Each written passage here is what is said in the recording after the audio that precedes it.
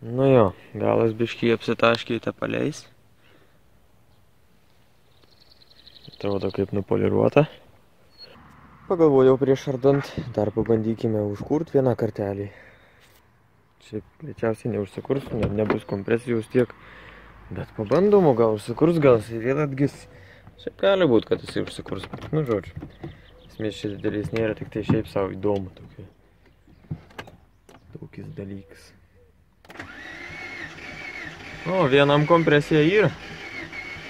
Ne, nėra, yra vėl.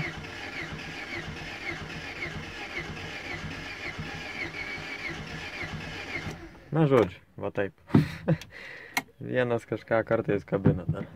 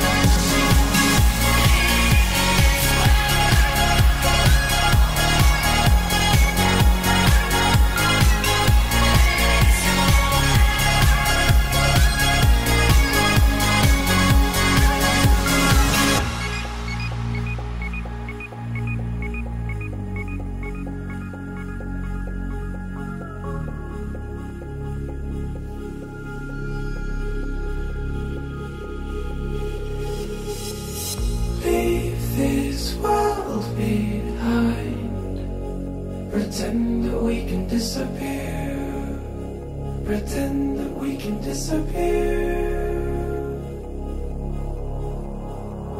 Place your hand in mine. Imagine that we're leaving here. Imagine that we're leaving here so far away.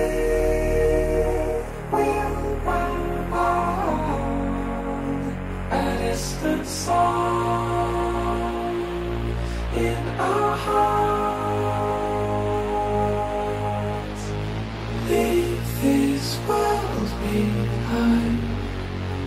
Imagine that we're leaving here. Imagine that we're leaving here.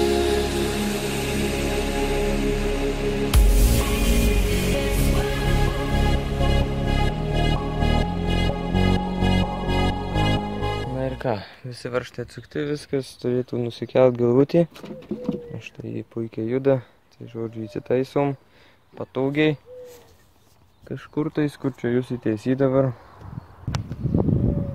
Pasitelkėm išmanęją kojelę. Štai turėtumėt puikiai viską matyti. Aha, nu. Patirkime šį experienciją, pamatyti, kas yra klyjai negerai. Kai matau, žarnelis trukdys. Šitas. Kas dar čia gali trukdyti? Nieko čia netrukdo. Gerai. Nu ir ką mes čia matom? Čia matau, kad pradegė yra stumoklis pro šoną. Daugiau nieko nematau vizualaus. Sakyčiau keista, jeigu tik vienas. Nu, aišku, čia tikrai daugiau negu vienam tos kompresijos nėra. Štai kaip smagiai pradegė. Stumuoklio kraštas. Žiūrim, sienelės yra pasibraukę čia šiek tiek. Čia praktiškai nieko nėra. Čia šiek tiek irgi matom. Šiaip tai manau, kad čia bus toks vienas variantas, kaip kad e, žiedo tarpelis, ta prasme, kadangi, ta prasme, nu, tarkim, užpučia turbiną, ne, e, didesnis sprogimas vyksta, viskas ten, žodžiu, daugiau, stipriau ir esmė, kad daugiau kaitros atiduoda. Ir tada žied, nu, metalas, kadangi plečiasi kaistant, žiedų tarpelis, ta prasme, mažėjo, kadangi žiedas ilgėjo. Ir taip gavosi, kad neliko žiedo tarpelių, jisai iš viso dingo, tada gaunasi, kad žiedas neturi kur plėstis ir jisai plečiasi į visur į šonus, ta prasme metalas ir gremščia kraštus pradėjo visus. Ir tada va taip ir išėjo, bet čia šiaip tai žiauriai keista, kad čia nieko baisaus tokio daugiau aš nematau. Aišku, išsėjimus tų mokus biški daugiau, kažkas matytųsi jau. Man keista, kad tik vienas taip pradegė stipriai. Nors mes dar į galvutę nežiūrėjom. Gal ir galvutė kas nors yra įvykę įdomaus. Hm. Įdomaus nieko neįžiūriu aš čia. Prasukim starterį. Žinau, kad jokios naudos, bet šiaip įdomu. Kaip juda stūmokliai.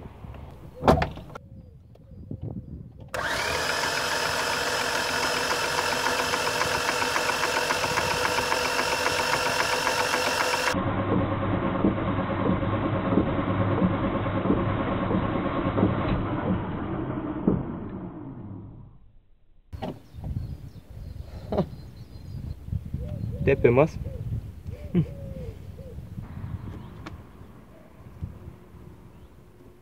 O, o šito tai nepastebėjau.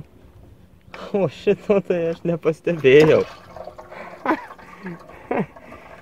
Ai, čia geras.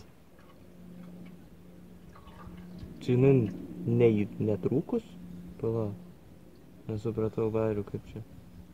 Tipo, jinai įgilziuota būna ir jinai net laikė, iššoko, tipo.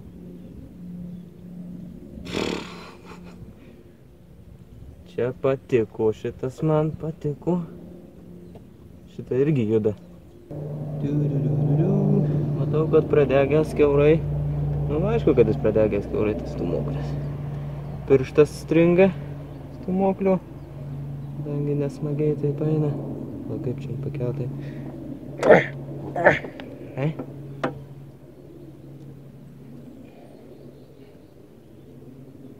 Kažkas duria.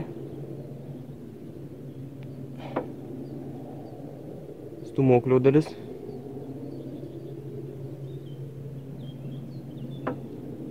Žiedas trūkęs matau.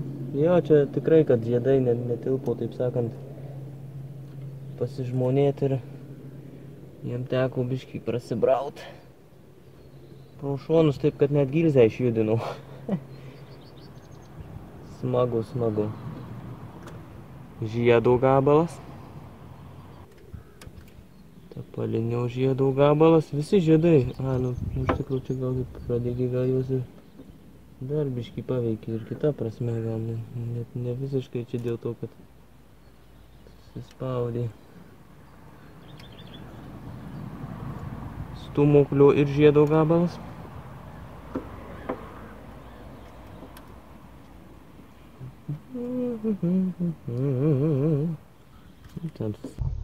Ten neblogai. Palinių žiedų spiruoklytė. Tai žiedais reikia atsargiai, nes jie dažniausiai pjauna kraštai tie jų. Aš nebūčiau nustebęs, jeigu rasiu, kad biškiai susipjaustęs būsiu, bet labai stengiuosi stipriai neįsipjaut bent jau. Nes jie realiai tai aštrus kaip britutis. Kadangi prisidirbę, taip sakant, tą kampą tokį aštrų padaro, kad tą vaikelį atsargiai reikia. O, šitas sveikas žiedas. Nu, tarkim, ale, sveikiausias, tarkim. Šiek tiek išlinkęs. O iš tikrųjų, tai čia tos gilzės gal jos ir neturi sunkiai čia įsimetę būti. Čia iš tikrųjų gal jas užspaudžia galvutį.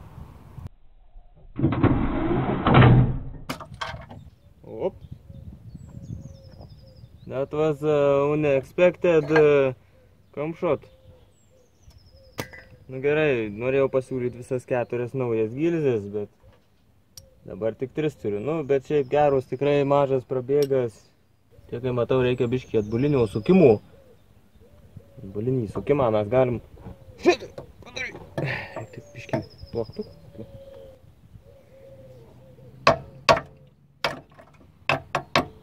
Gerai, šitą inspektinam pirmiausia šitą, kadangi jis mums arčiausiai supranti pasitaikė šį kartą. Tai va štai mūsų vėlgi cilindras. Štai stūmoklio gabalai. Toliau čia spėju tas, kuris dar turėjo kompresijos. Nors čia irgi, kai matau, trūkęs yra stūmoklis. Va.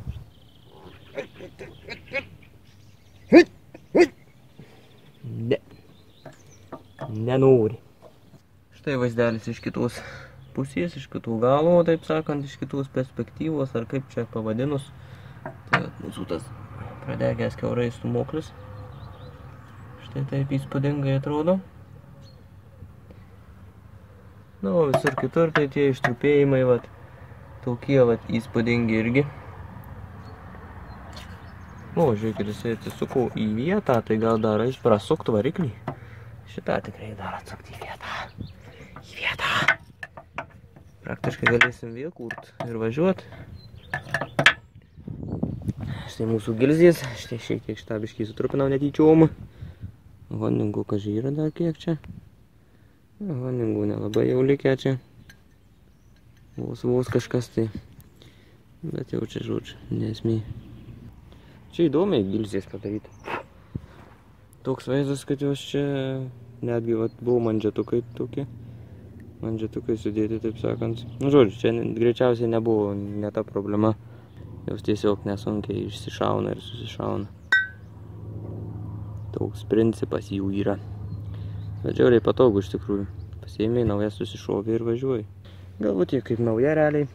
Šiaip tai realiai čia viskas gerai su ta galvutė tikrai.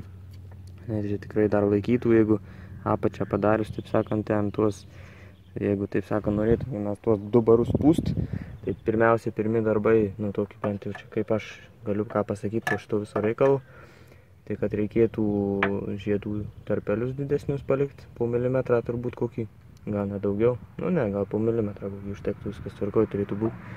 Sakyčiau gal, nu bent jau čia iš lempų žodžiu sakau. Toliau stūmokliai spėju, kad jie tokie biški gali pradegti. Tai, tai, tai, tai, taip sakant, reiktų juos kitus dėti irgi kaltinius ar kokį ten. Bet čia prasideda kosminiais kainų žodžiu. Jeigu realiai tai ką, stokinį, taip sakant, nieko nedarytą variklį, padarai 0,5 barų, kad pūstų ir važiuoji šimtą metų. Bent jau, bent jau dauguma normalių variklių taip. Ten, aišku, būna, kad ir daugiau gali pūsti. Šitam tai ką, nu, su vienu baru gal ir būtų važiavęs jisai. Gal tik tarpelio būtų reikėję žiedų, gal ir tai būtų važiavęs. Bet, kaip matyt, mes pūstelėjom porą, nesismulkinom. Tai taip ir gavosi. Na ir ką, manau, kad nelabai verta čia ką daugiau gilintis, nes mes kaip ir viską pamatėm, tik tai nepamatėm dar šitų, taip sakant, kaip, kaip indiklai. Bet indiklas tai vat, vien šitų klibėjimų aš jaučiu, kad čia jie nėra baisus. Indiklai čia būtų laikę dar. Problema čia, va, taip sakant, šita buvo su stumukliais ir žiedais.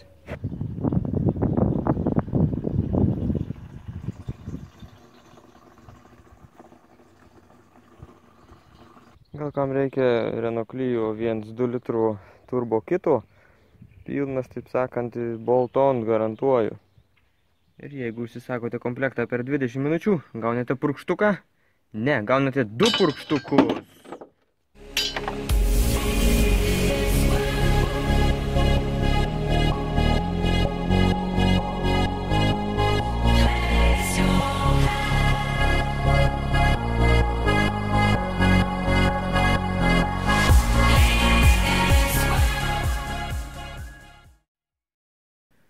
kokam klijureikia